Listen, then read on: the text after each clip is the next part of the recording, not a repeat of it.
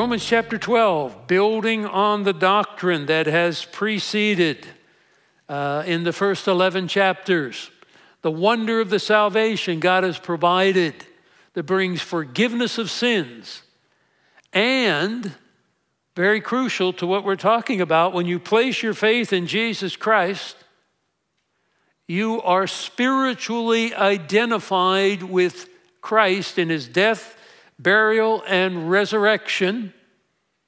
We saw that particularly in Romans chapter 6. And at that time, the Spirit of God identifies you with Christ and you become part of the spiritual body of Christ. Uh, 1 Corinthians chapter 12, verse 13 puts it by one Spirit. We have all been baptized into one body. He's not talking about water baptism there, but spirit baptism. One Spirit identified us with Christ in his death, burial, and resurrection so we could be spiritually joined to him and part of uh, the body of Christ, which is the church. And the manifestation of the church, universal, comprised of all believers, wherever in the world, is the local church. And we noted spiritual gifts are those special abilities because the analogy is the body. If you're going to be a body compared to the physical body, you have all the different parts. And they each have a special place to make the body function as it needs to. That's the picture spiritually. Um, something of our individualness is lost but gained. Each of us individually are gifted by the Spirit. But that is not to enable us to function as individuals, but to enable us to function as part of a body, to make a con contribution to the body, um, so that the body can grow and mature. It's such a simple, clear analogy to our physical body that it almost explains itself uh, when uh, you give it some thought. So that's what he's working through in chapter 12. It's interesting to me, and I think to you, that when he's laid that such clear and full doctrinal foundation relating to our salvation, the first thing the Spirit directs him to speak about are our spiritual gifts and function as a unified body, one in Jesus Christ. Um, and just like our physical body, it's an indication of a problem in the body that must be dealt with if the body begins to work, one part of the body begins to work against itself, uh, works out of harmony with the rest of the body then that becomes a concern. It must be corrected. Um, that's picture spiritually. There is a unity, there is a harmony, because it's the Spirit of God who not only indwells each of us individually, but indwells us as a body of believers. And so, as we are functioning in submission to Him, we function in unity and uh, can grow together.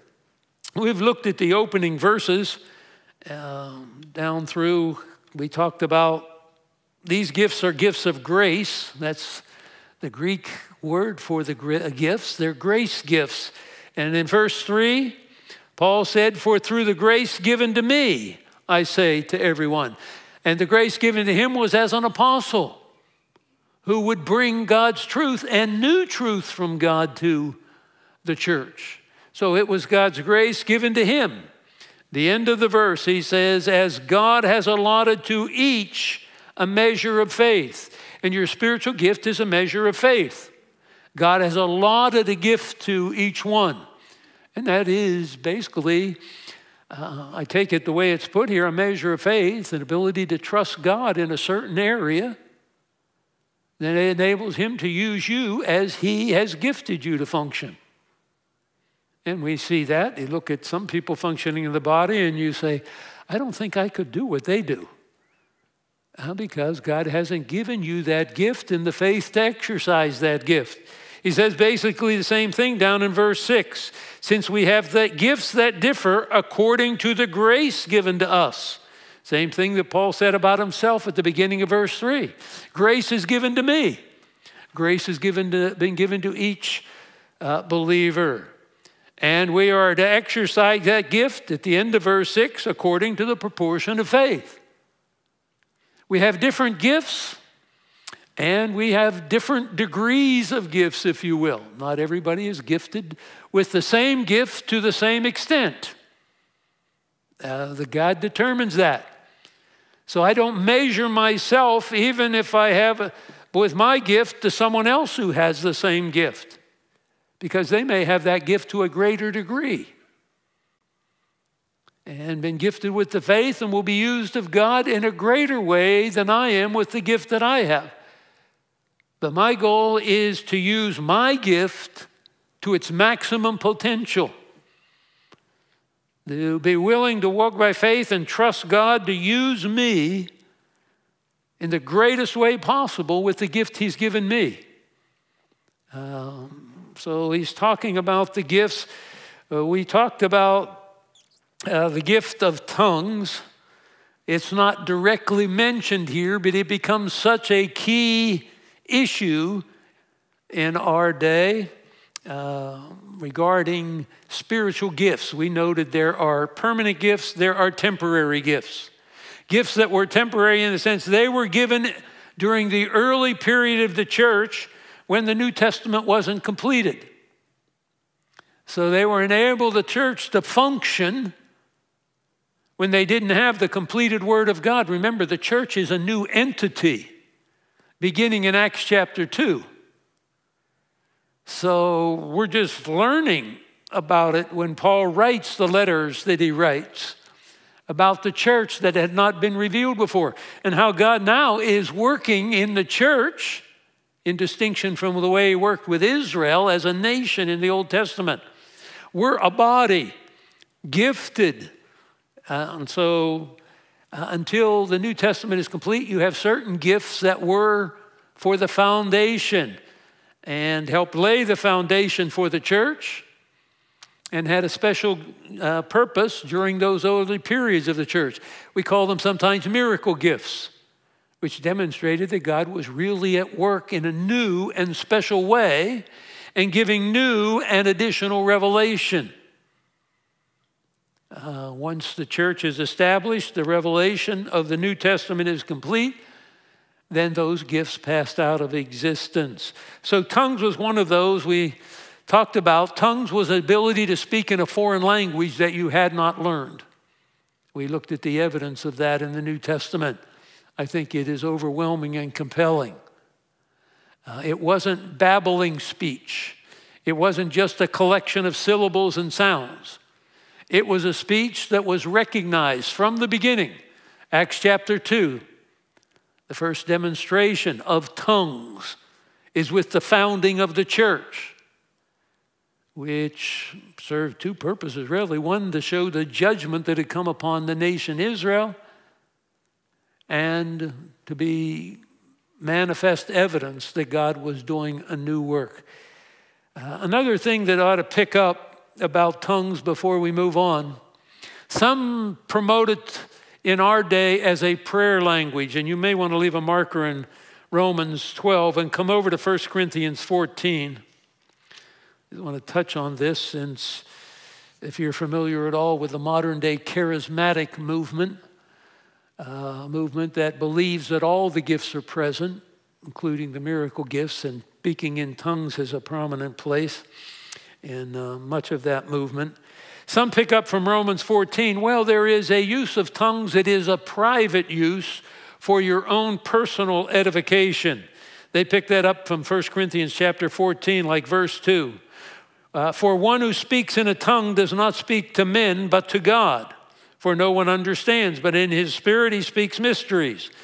In contrast to the one who prophesies, and we're going to talk about the gift of prophecy in a moment uh, speaks to men for edification. In other words, if I started speaking in Mandarin, uh, Chinese uh, language, most of you wouldn't understand it.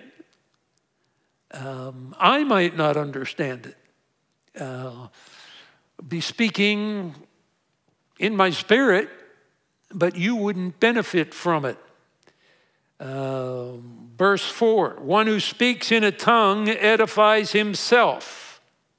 One who prophesies edifies the church. Now keep in mind, we want to remember what the spiritual gifts are for, and I'll uh, run through that with you in a moment. When it says you edify yourself, that's not the purpose of the spiritual gift, it's to edify others.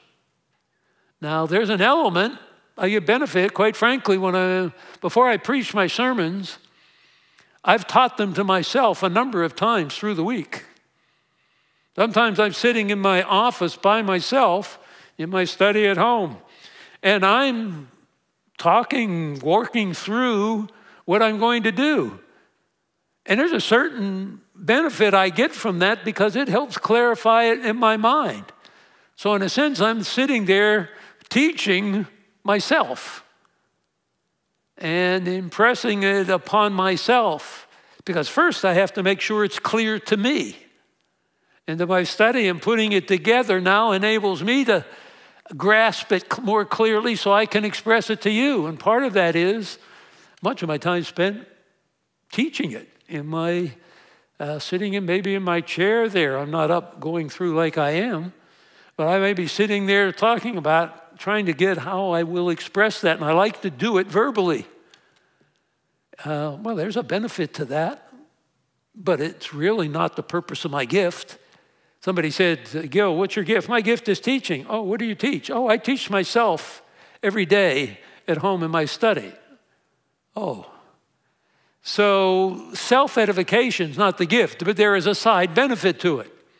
And many of you who do teach of them will say, you know, I, I get more benefit and learn more out of it.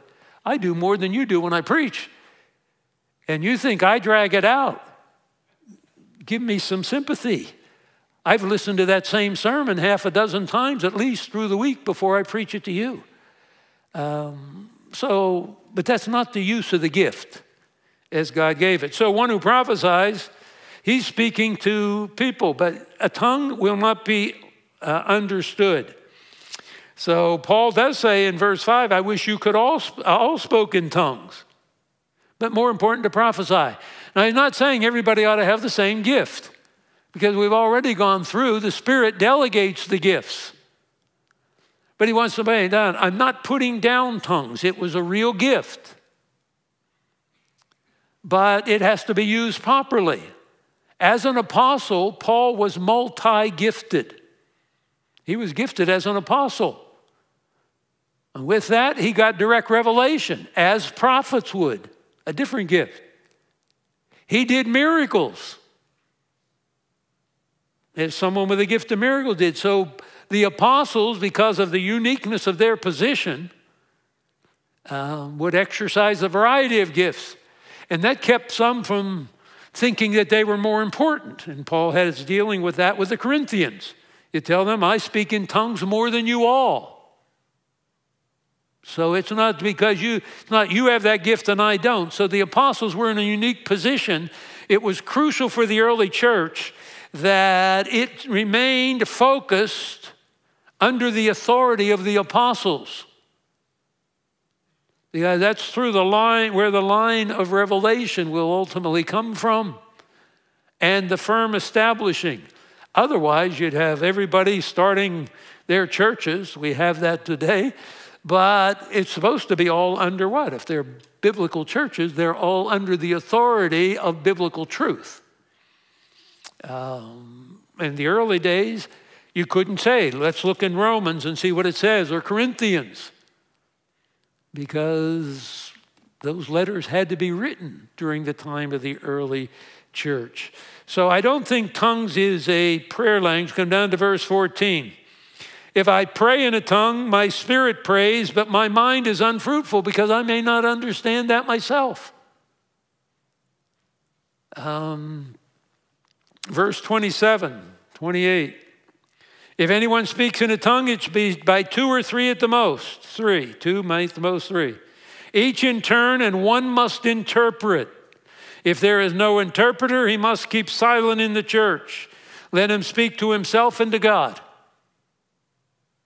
Now, people say, well, see, you should exercise your gift as a private language with God.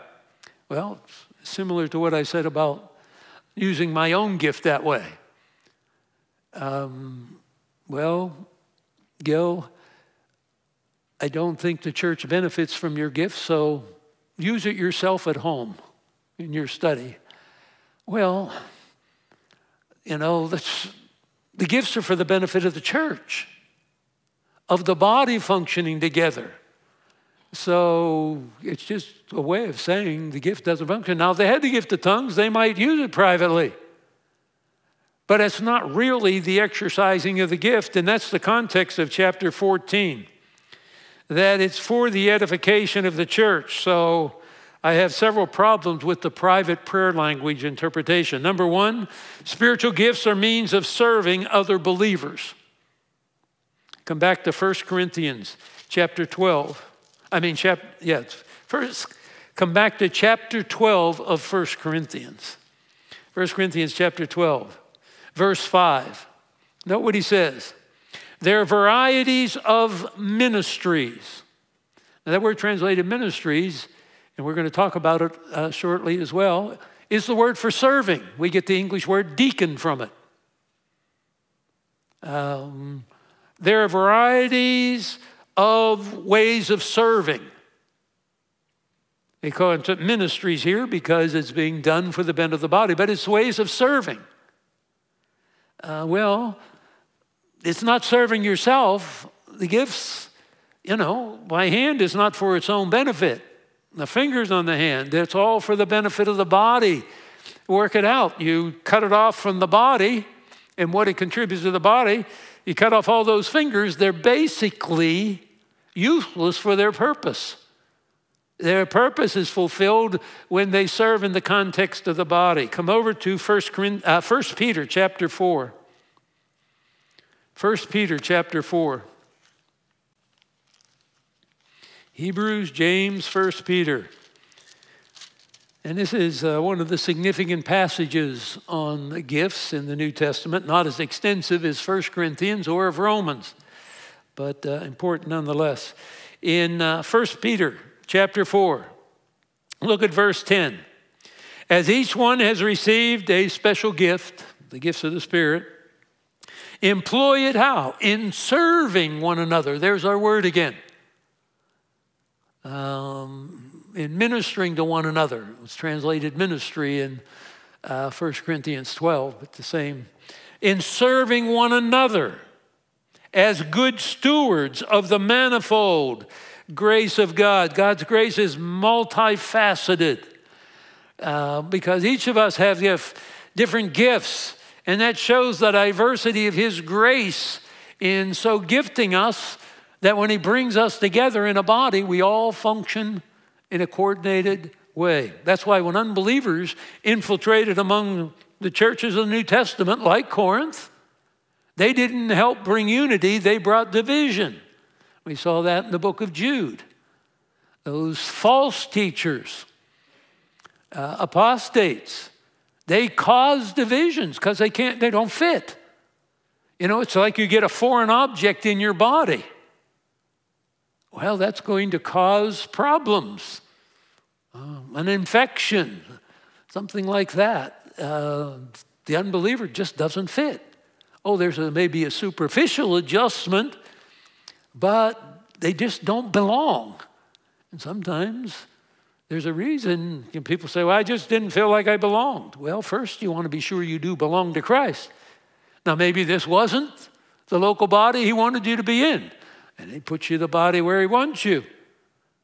But that's key. It's to serve one another. I mean, so that's where to talk about a private use of my gift, they're not given for that. They are the manifold grace of God given to serve one another. And when you're serving others with your gift, you are a good steward, a stewardship. You've been entrusted with a responsibility by God that must not be wasted. He bestowed His grace on us, not only in salvation, but as part of that salvation, a gift. to make us effective in bringing glory to Him by helping the body mature and grow. So when people talk about a private use of the gifts, I think it's just contrary to what the gifts are by nature. Um, the gifts are to build up the body, not yourself. Now, there's a benefit and so on that comes from exercising your gift in the context of the body, um, and that helps the body grow. Back up to Ephesians chapter 4. Uh, not too far past Romans, Galatians, Ephesians chapter 4. This is the, the other. With 1 Corinthians 12 to 14, Romans chapter 12, Ephesians chapter 4, and the passage we were just in in uh, 1 Peter. Those are the four main passages in the New Testament on spiritual gifts functioning in the church. Here in Ephesians chapter 4, look at verse, he's talking about the gifts were given as a result of the resurrection of Christ. So there were abilities given to people in the Old Testament, but the gifts of the Spirit as a result of the Spirit permanently indwelling people did not happen until after the death and resurrection of Christ and the establishing of the church. And that's what he tells us. Verse 7 To each one of us, grace was given according to the measure of Christ's gift. The gift that comes from him and as a result of his work. That's going to enable us to function as one body. That was the first part.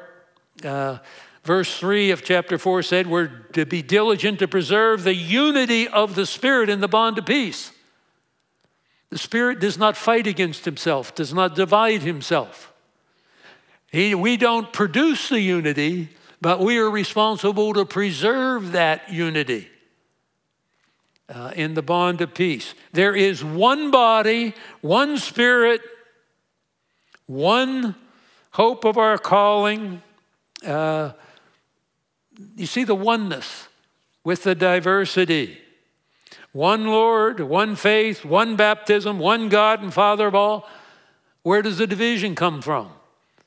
Uh, well, there's a division in the difference of the gifts. And we have to understand that. There's a diversity. To each one of us, grace was given according to the measure of Christ's gifts. And that happens after he ascends on high. Then the grace is given. And that begins with the giving of the church, the sending of the Spirit, as he promised he would do when he ascended to the Father in verse 8. And that was after his death. So uh, we're founded on what the opening uh, chapters, the preceding chapters of Romans were. And verse 11 He gave some as apostles, some as prophets, some as evangelists, some as pastors and teachers. Note, for the equipping of the saints for the work of serving. There's our word serving again. To the building up of the body of Christ until we all attain to the unity of the faith. We're growing to a mature, complete person. The analogy of the body again.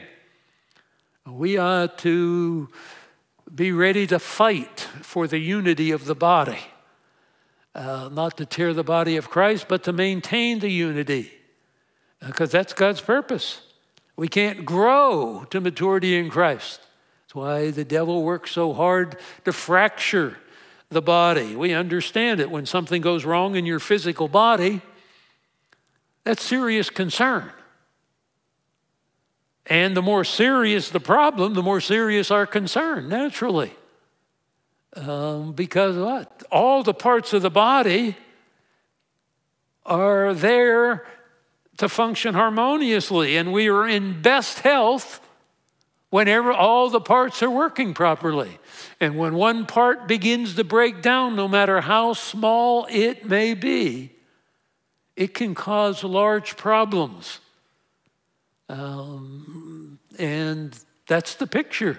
God puts it down so low. Remember J. Vernon McGee, uh, home with the Lord now, but I think some of his uh, teaching still aired on some programs. Talked about putting the cookie, cookies on the lower shelf so everybody could benefit. This is what God's done for us. Look at it. Just uses a simple, basic analogy of our physical body. And yet, seems like we forget it an awful lot when it comes to putting it into practice. The gifts are for the benefit of the body, for the building up of the body, verse 12. So until we all get to maturity as the children of God, and that's measured by our Christ likeness, then we're no longer children in our immaturity state.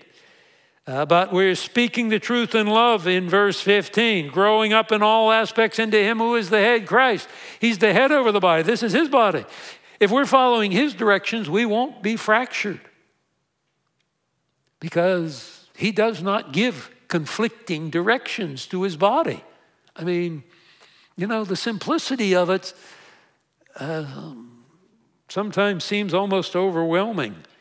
Uh, we're coming more like Him.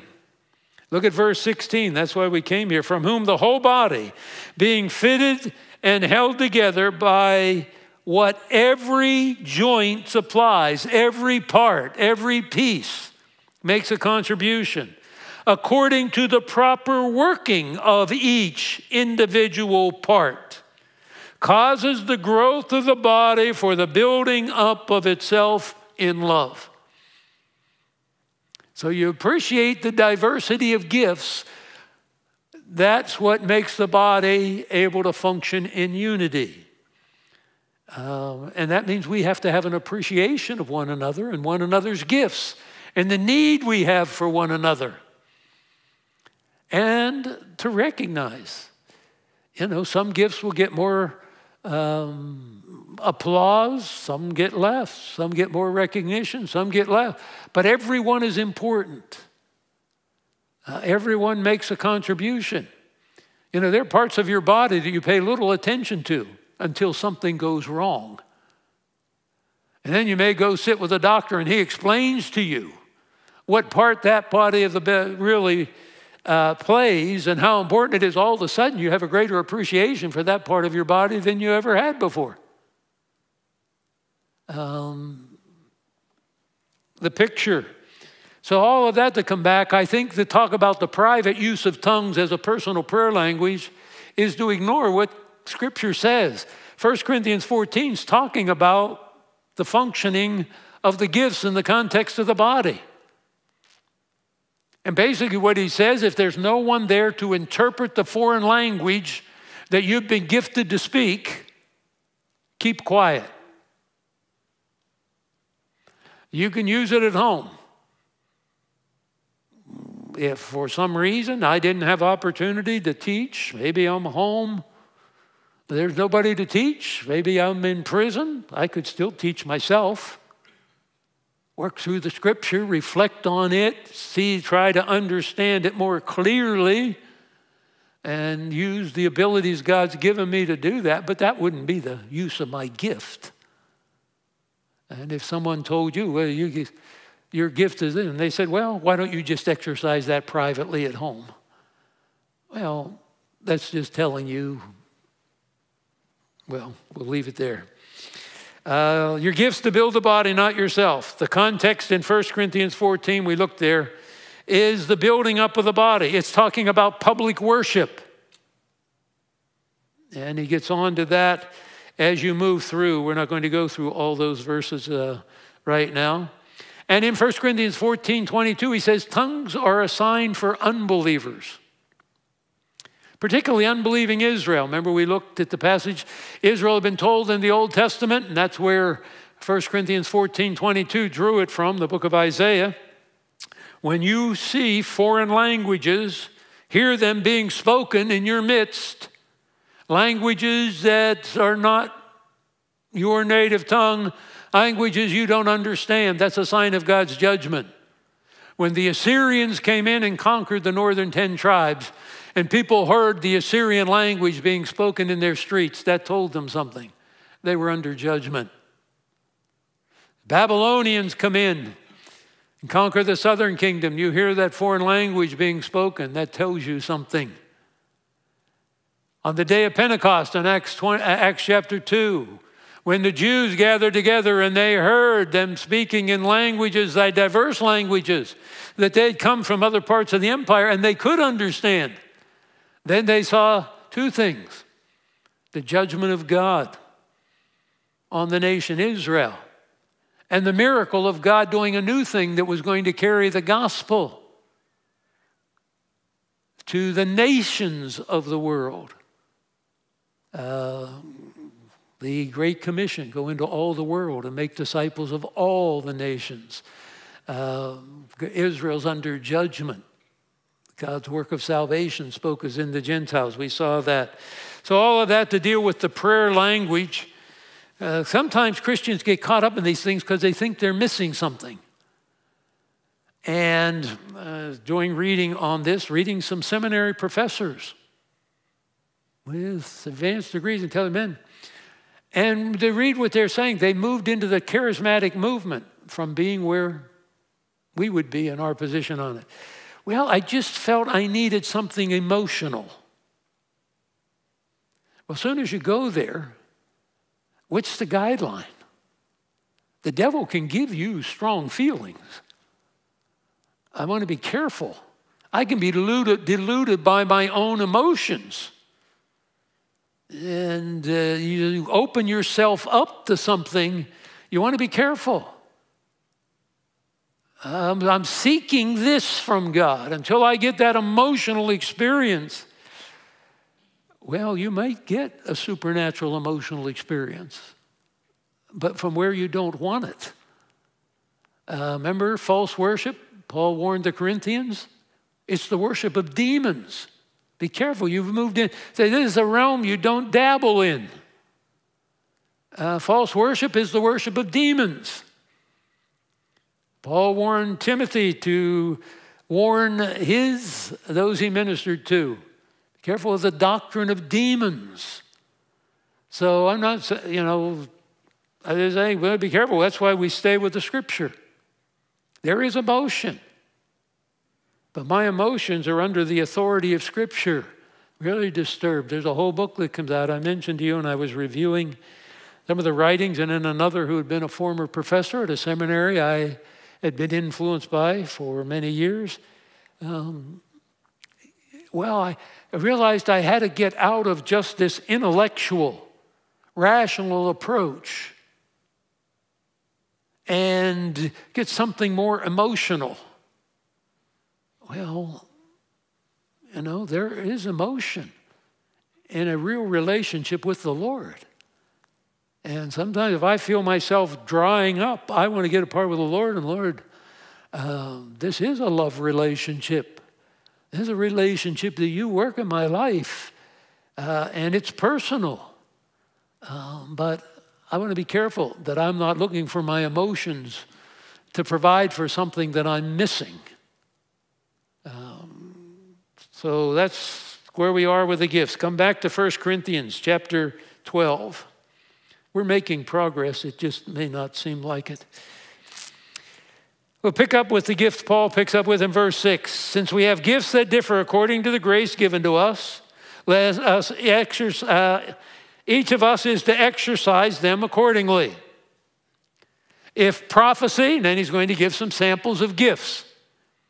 And as you compare the different list of gifts from 1 Corinthians and Romans and Ephesians and Peter, you put together, and it's not the purpose complete, it's giving an example. You know, we talk about our physical body, you give an example of how all the parts work. You don't give, have to give every part of the body. Uh, you get the point with the picture. Uh, if your gift is prophesying, you exercise it according to the proportion of faith. Not everybody's going to have the gift of prophecy to the same extent. I mean, look at the Old Testament prophets. I take it's the same gift in the sense you receive direct revelation. Not every prophet was an Isaiah. We have about the minor prophets. We looked into Amos in an early study today. Well, Amos is, you know, he's minor in that his prophecy is small. He didn't carry the same weight. God didn't give him the same breadth of inspired revelation to be recorded for our benefit as he did Isaiah, Jeremiah, Ezekiel. Um, They're major prophets, not because their prophecies are more true, but there were much more of them and they're greater. So you exercise it according to the portion of your faith. In other words, I trust God as I submit to Him to use me to the greatest extent with the gift He's given me. I won't be sitting in a corner moping because somebody's getting more attention and has a greater uh, gift of prophecy. You know, I think the gift of prophecy, some interpret it to apply today as the gift of preaching. I've mentioned I don't think that's true. I think the gift of prophecy, as it's recorded in the New Testament, there'd be no reason to see it as different than what a prophet was in the Old Testament. They received direct revelation. And I think uh, prophecy is that level. That's why it's given a high level importance. Come back to 1 Corinthians, uh, just behind Romans. 1 Corinthians chapter 12. Paul gives a list of gifts in importance, not all of them, but the top ones of importance. 1 Corinthians chapter 12, verse 28. And he's doing this because the Corinthians were getting out of whack, because obviously, if you have a gift of speaking in a foreign language that you hadn't learned, that's sort of striking. You know, you'd be telling people, you ought to come hear our pastor. He'll start speaking in different languages that he's never studied. That's sort of spectacular. But when you're just giving out the Word of God, even the new Word of God, it can sometimes come across as, oh, yeah. And then you don't recognize the miracleness of it. It is a miracle. But look at verse 28. Verse 27 Now you are Christ's body. He's writing to the Corinthian church. Individually members of it. So the unity, the diversity, the unity, the diversity. And when the diversity begins to tear apart, we have to fix it. Um, but the unity does not nullify the diversity. As God has appointed in the church, this is God's appointment. Not my choice, not your choice. God has appointed in the church. Now, note here, he gives an order first, apostles, second, prophets, Third, teachers. Similar to what we have in Ephesians. Why are those gifts given? Then he just says, then miracles, then gifts, then healing.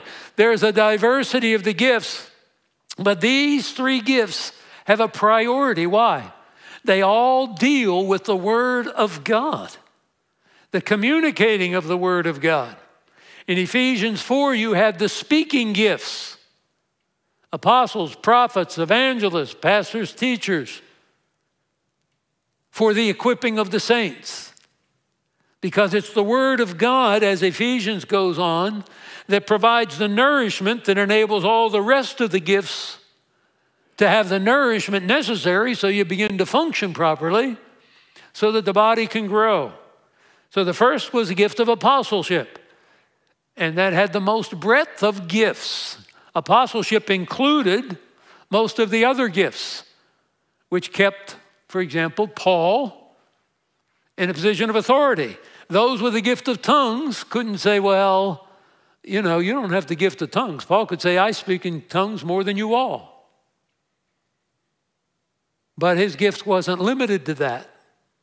So apostles were, and then he's getting direct revelation from God, so he needed that.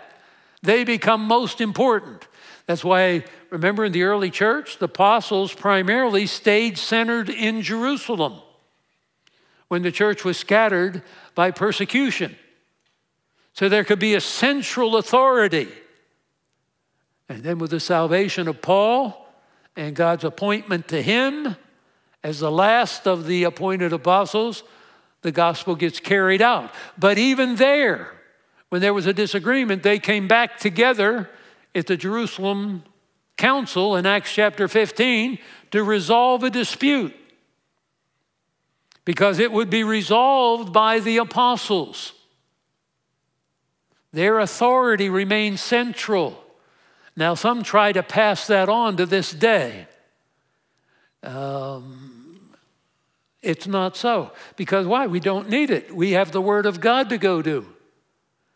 But in the early days of the church, like at the uh, Jerusalem Council, they had to sort through this stuff. They didn't have completed revelation.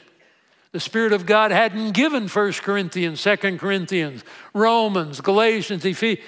These things had to be so naturally. You needed special revelation, and then you had to have a way of testing the revelation. That's why Paul, we looked at in 2 Corinthians 12. The signs of a true apostle were performed among you with all signs, wonders, and miracles. The diversity of those gifts. So you should have no question about my authority and the truthfulness of what I am writing to you, which we now have as our Corinthian letters. Uh, so, uh, the priority of the gifts. Prophets were next because they get direct revelation. Teachers are third, but they don't get direct revelation. That's why they're third. Why don't we just say these are because God has given the order. And prophets were under the authority of the apostles because there were false, uh, false prophets, there were false apostles. The genuine apostles recognized, validated by genuine miracles. Then, under that, you have prophets who received, because we have scripture, New Testament scripture, that's not written by apostles. We're not sure about the book of Hebrews, whether it was written by Paul, as some hold. Uh, Luke wrote the New Testament book of Luke. He wasn't an apostle. He wrote the book of Acts. He wasn't an apostle. But he got direct revelation from God, and we classify under a prophet uh, because he was receiving direct revelation. The Spirit was guiding him as he did Old Testament writers. So, direct revelation. Teachers, they take the Word of God. Now I can be evaluated. You have a Bible. You say, well, that's not what my Bible says. You're responsible. Uh, and James says, don't be many of you teachers because you'll have a greater judgment. Why? This weighs on me after 50 some years as uh, a teacher of the word. You know, sometimes I think, boy, I, Lord, I have to have this correct. It's, I have to have sorted this out. Lord, do I have this straight? Am I going to explain it clearly? Why? I have greater judgment. Why were you careless in handling the word? Well, you know, I've got a lot of things. Uh, wait a minute, that's God's word.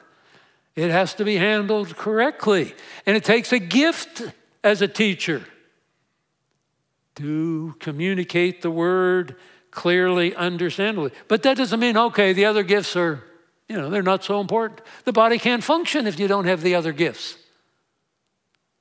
I mean, when Marilyn and I dated, she never commented on my liver, but she talked a lot about my beautiful blue eyes. At least that's the way I remember it. She, she'll, if you talk to her, she'll say, Oh, yeah, he's getting old. Um, you know, we're that way. But that doesn't mean the parts of the body that aren't given all that attention aren't important. So when he goes on, but you understand, you want the priority to be on the Word of God. People pick their choice. Well, you know, the people were friendly. I enjoyed it. I liked being there the doctrine's not maybe what it should be, well, then move on. But by the same token, the church ought to be what it should be. So, all the gifts, miracles, healings, administrations, kinds of tongues, all are not apostles, are they? All are not prophets, are they? They're rhetorical question. Obviously, no. We've been through that. The Spirit is delegated to each one as He will. They're not all teachers, are they? All are not workers of miracles, are they? All have not the gifts of healing, do they? All do not speak with tongues, do they? All do not interpret, do they? Earnestly desire the greater gifts. Now, people can see, see, we can desire a gift. He's talking to the church.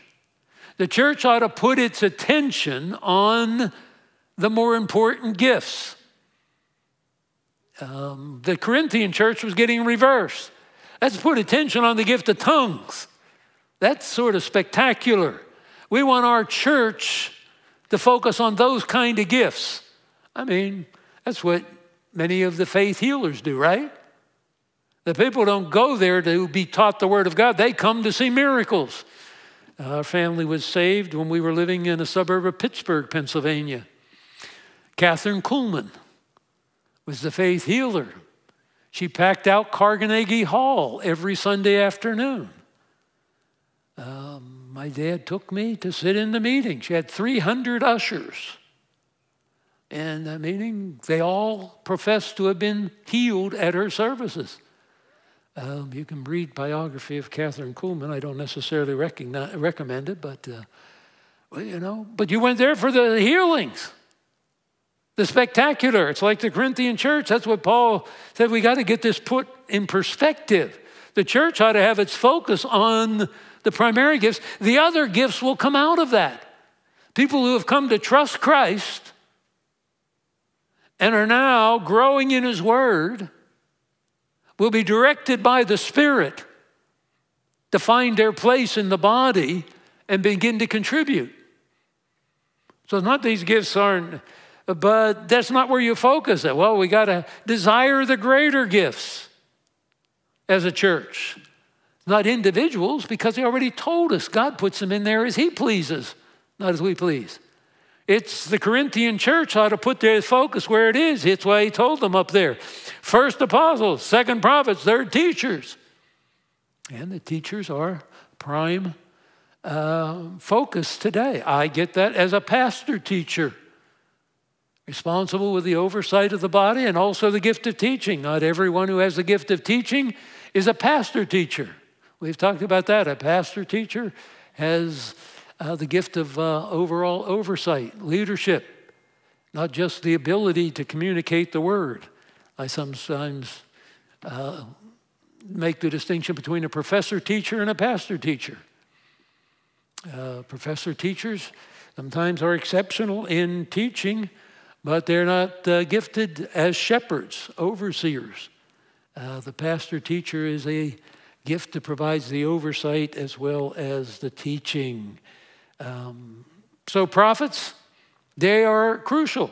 They were second in importance because they're getting direct revelation.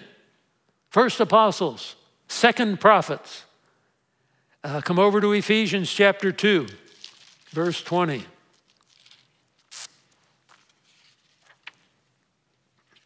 Ephesians 2:20. And he's using a different picture here Instead of the body, he talks about a building. In chapter 4, he'll talk about a body. All these things talk about parts come together. In a building, what do you do? You take all the different things necessary for the building and put it together. When you're done, you have one building. When you go to a building supply place, they just have stacks of parts. They generally don't function in any real helpful way until somebody comes in and gets the necessary parts and puts it together to have a building, a house. Then it's usable. Other than that, they're just parts on the shelf or stacked up, like our body. Uh, it's the parts together that make it work. So here he's using a building. Verse 19, you are no longer strangers and aliens, you're fellow citizens with the saints. You are of God's household, the picture of a family having been built on the foundation of the apostles and prophets. You see, the foundation, the teachers aren't even mentioned here because the chief cornerstone is Christ. He's the one in whom the whole building is being fitted together and it's growing into a holy temple in the Lord, in whom you are being built together into a dwelling of God in the Spirit. That's why it's so important we get a casual atmosphere toward the church, the local church. God takes it very uh, seriously. This is His building, a place He dwells. He not only dwells, we look at another occasion, in the body, individual body of the individual believer, but then he dwells in the body corporately as the church. That's why early in First Corinthians, he said, anyone who destroys the church will be destroyed by God. And that's why the devil infiltrates among churches and destroys them. Um, but sometimes he uses his servants, and those servants who destroy the church are on their way to an eternal hell. That's why he's warning the Corinthians about the divisions among them. Yeah, wait, your divisions are fracturing the church in danger of destroying it. You understand if you're part of the destruction of the church, you're marked out as an unbeliever. Uh, go back and read the opening verses of uh, opening chapters of First Corinthians. So here, the foundation of the apostles and prophets. We're building on that foundation. I'm a teacher.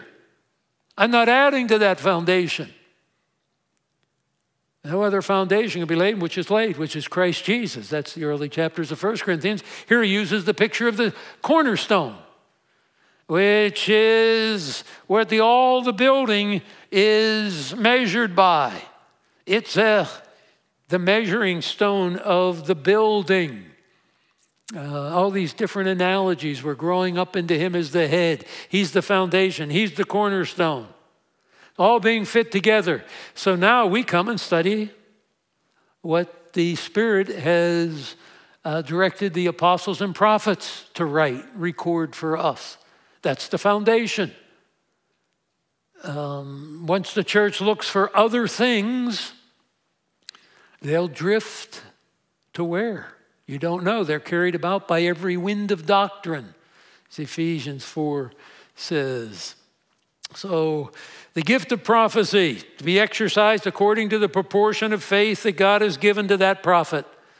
Um, and um, we'll go on. Come back to First uh, Romans 12, just so we identify where we are.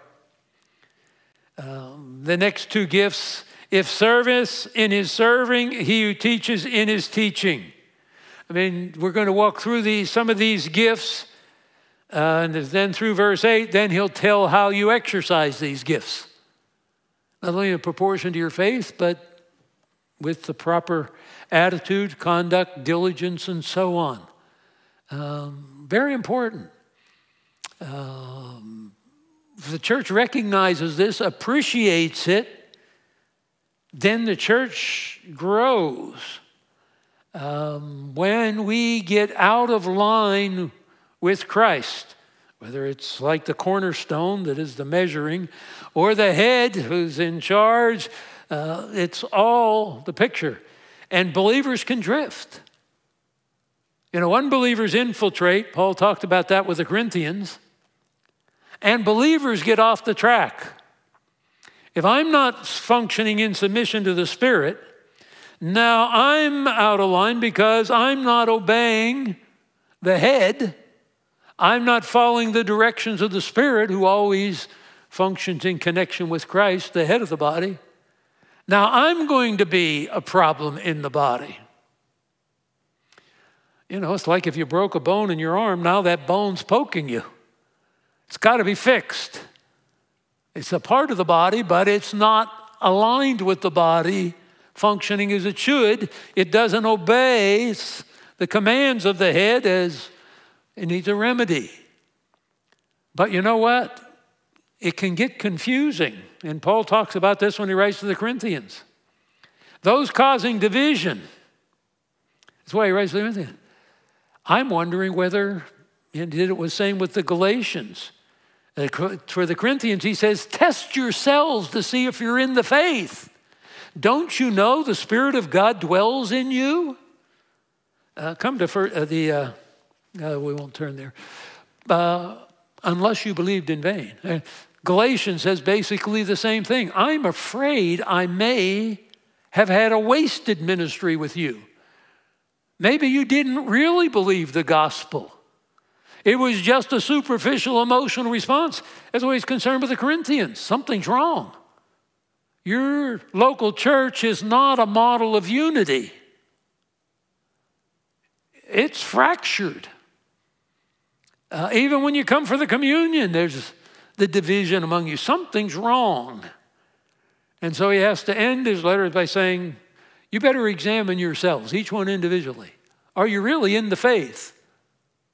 Why am I not fitting? Why am I out of sorts? I've sometimes, in conversations, take it to other churches. People come. There's something wrong, and they're upset about their church. I say, there are other people upset. No, sometimes I usually know something about that church. Why they? Why are you the problem? Well, you don't know what they're doing. So everybody in that church is out of alignment with what God wants them to do, but you. Well, I think there's another person. You know, as soon as you sort it out, it ends up. And we end up going, Are you sure you're a believer? Maybe you don't fit with believers because you're not one of them. This is the kind of issues that come up when you see how strong God is about the unity, and He didn't put any gift in the body that doesn't fit the body. I mean, since He's the one doing it, it comes together as He will. We'll stop there. And then we'll pick up with the gift of serving a little bit, the gift of teaching, exhortation, giving, leading, mercy, cheerfulness. Uh, and then he'll be ready to tell us how we should be working together and the evidences of that. Let's have a word of prayer. Then I want to address a question that I received. Thank you, Lord, for your word. Lord, it's easy for us to go through these portions of your word that we've been through many times. But if we're honest, sometimes when pressure builds, when issues come up, we forget. We don't want to remember. And so we become a problem. And we become a problem for ourselves as well as for the body. Lord, we want to take these truths to heart because we want to live our lives day by day in obedience to you. And it is a serious matter when we're out of step with the directions of the Spirit of God in our lives and in the life of our church. So we want our testimony to be strong and clear, faithful to your word. And we pray in Christ's name. Amen. Okay, I want to pick up a question that I received. And uh, I do have a slide I'll throw up, but let me read the question first.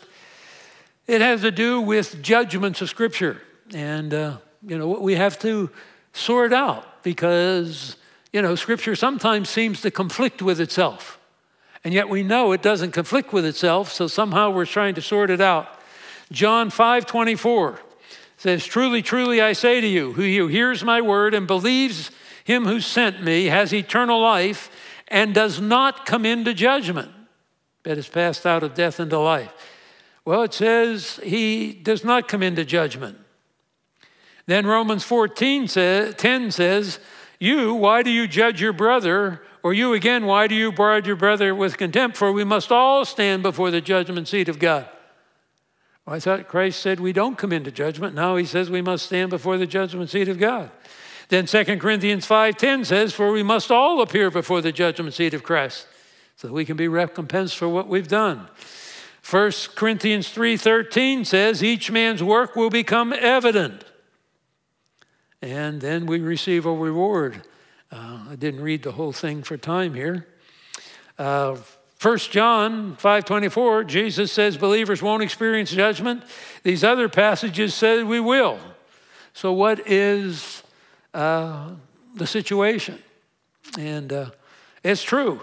And this is where it's important to uh, sort out what the scripture talks about. And uh, let me just give the foundation since John 5 24 is foundational. I think Jesus is drawing a line there between a believer and unbeliever. Um, and in the context, you pass out of death into life because you believed you've entered into eternal life. You will never come into judgment regarding your eternal destiny. Uh, so that's been settled. You'll never come into a judgment for hell. But Scripture talks about different judgments. Let's start with the uh, resurrection chart here. We could put that up if uh, we would. Yes, this is the chart of the resurrections. And I put this up because the judgments take place in the context of resurrections. I'll list the judgments in a moment, but this is the chart. Christ is the first one resurrected from the dead with a glorified body. Um, he's called the first fruits. That assures a coming resurrection. So then we have uh, the resurrection of the church at the rapture. So you see, different resurrections will occur. Church taken to heaven, uh, the marriage of the Lamb occurs, then we'll return to earth. Now it's here at the rapture of the church, this resurrection, where the church will be judged. We talked about this in our study of the book of Revelation. Uh, at the Bema seat of Christ, which is a judgment for rewards, like 1 Corinthians uh, chapter 3 says. And there is a loss of rewards, but we will be saved, 1 Corinthians said. Uh, even if you bear the loss of rewards, you will be uh, saved. So nobody at this judgment is going to hell. But it is a judgment. And that's what Paul is writing about uh, when he says that we will all stand before the judgment seat. It won't be the same judgments, but here judge the rewards. And I've had people tell me, well, I don't really care if I get a reward as long as I know I'm going to heaven. That's good enough for me. It shouldn't be good enough because God says it's not good enough. Um, 1 Corinthians 3, he says it's important. The rewards will be important. You will suffer loss. Now, I may not be able to fill in all the blanks on that. Well, there's not going to be any sorrow in heaven and no tears, and, uh, you know, I'm good to go. I think when we stand before that judgment seat, it will be clear why it was so important that we be faithful. Um, so that's the first judgment. Then you come here when Christ returns to earth with the church to establish his kingdom. There is a resurrection. Old Testament saints and tribulation saints. Tribulation saints are those who became believers during this seven year period and now they were martyred and they are raised from the dead. So there's a resurrection here. Uh, you'll have Old Testament saints and tribulation saints who are resurrected, receive their glorified bodies here. No Old Testament saints were resurrected here. They don't get their glorified body here. Church saints do. Old Testament saints and tribulation saints, which are part of God's program with Israel, because this is the last seven years of God's 490 year program with the nation Israel. So they're judged here. And for these saints, it will be a judgment of rewards also, because they're believers. But it's distinguished from here. Uh, it's not one judgment. Also, at this point, there is a judgment of the living set up. In other words, all the people that have come through here and survived will be judged. That's Matthew 25. The judgment of the sheep and goats are Gentiles. The judgment of uh, Israel also takes place. Unbelieving, so all unbelievers here are executed, cast to hell. Um, so that's the living. So that only living believers in physical bodies go into the thousand year kingdom. So you see, we've had a series of judgments resurrected church saints, resurrected Old Testament saints, and tribulation saints, and also living people who came through the tribulation. Some of them became believers and survived, some of them did not. The unbelievers will be judged here, executed. They cannot go into the kingdom, cast to hell. Uh, believers, so they're going into the kingdom in their physical body. It's part of their reward. They inherit the kingdom, enter into the kingdom prepared for you by my Father from the foundation of the world. You read about it in Matthew 25. Then there is the last judgment of Scripture, the great white throne. And that occurs here, and it is the judgment of all unbelievers. Um, they will be judged here. That's the resurrection of unbelievers. So, no unbelievers have been resurrected. Um, but now all unbelievers are resurrected. We wouldn't call their bodies glorified, but they are durable. They are resurrected with bodies that cannot die. So there is a bodily resurrection. That's Revelation chapter 19. And here they are judged. And this is the judgment, particularly that Christ was distinguishing. The judgment and resurrection of life and a resurrection to condemnation, he talks about. Uh, we passed out of judgment into life, um, the same as the calling it the judgment, uh, you know, of condemnation, a resurrection of condemnation, because these are re- all. So all unbelievers from the beginning of time who have died uh, for whatever reason and all unbelievers uh, come through the tribulation here. They all now, they've all killed. Now they get a transformed body. So everybody's going to get an eternal body that can live for eternity. So God did not intend us, when He created us, to live as disembodied spirits. That's why in 2 Corinthians 5 says that we are looking for the resurrection we're not looking to die and leave our body.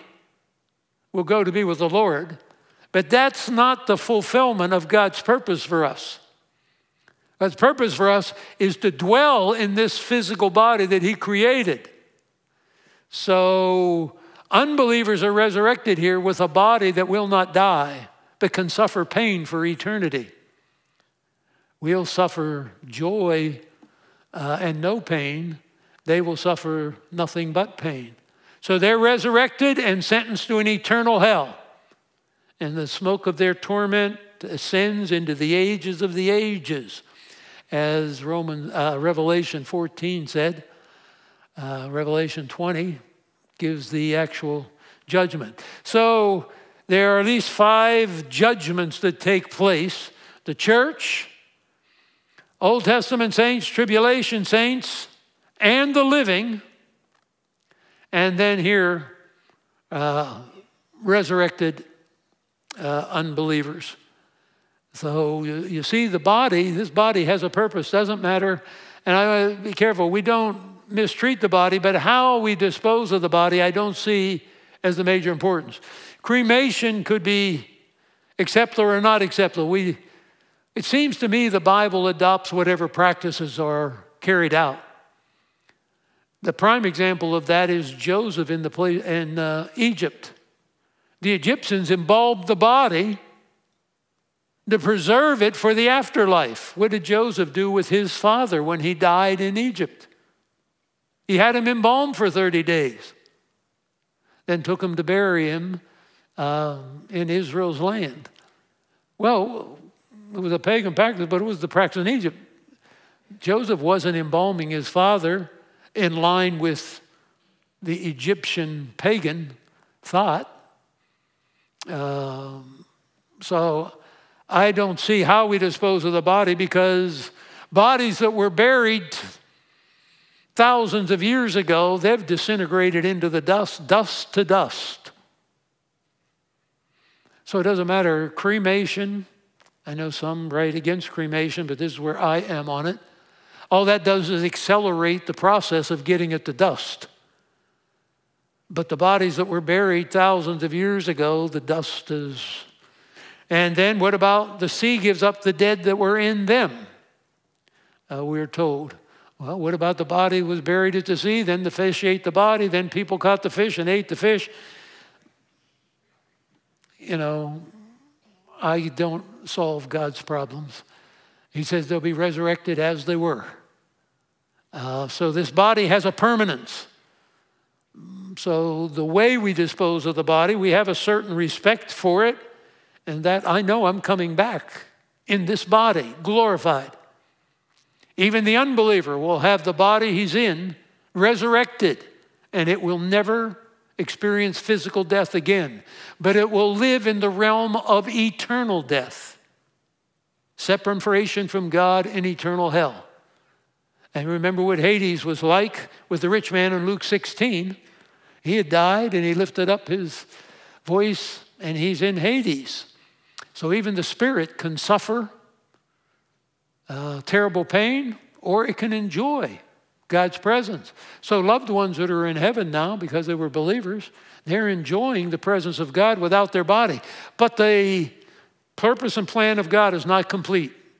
Till we've all been brought to judgment, we'll be at one of these judgments or the other.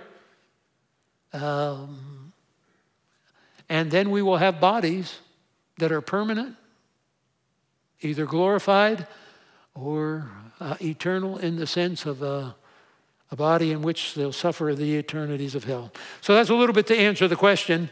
Uh, you have to be careful in the passage you're in. Uh, to whom is he speaking?